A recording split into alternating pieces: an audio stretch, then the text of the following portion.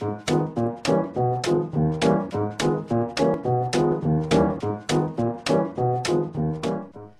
Χάρβεϊ αναφέρεται στην ψυχική διαταραχή και τον τρόπο που η κοινωνία αντιμετωπίζει τους ψυχικά ασθενείς. Πρόκειται για μια τρυφερή κομμωδία που μιλά για τους ε, ανθρώπους εκείνους που δεν μπορούν να καταλάβουν τις ε, αποχρώσεις της ενήλικης ζωής. Πρωταγωνιστής ο Έλγουτ, ο οποίος ε, Έχω ένα πολύ στενό μου φίλο, τον Χάρβεϊ, αλλά η αδελφή μου η Βέρα... Αυτός ο Χάρβεϊ μας ντροπιάζει παντού. Θεέ μου, μη τον δεις, θεία Έθελ.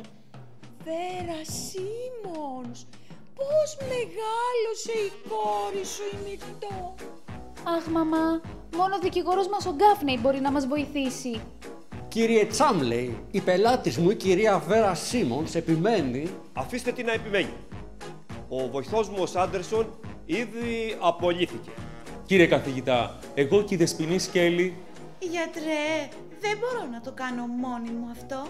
Βίλσον, χρειάζομαι τη βοήθειά σου. Ο κύριος καθηγητής είναι πολύ απασχολημένος και η καημένη κυρία Τσάμλεϊ... Μα γιατί κάναν όλοι έτσι; Τι τους πείραξε ένα αθώο άσπρο.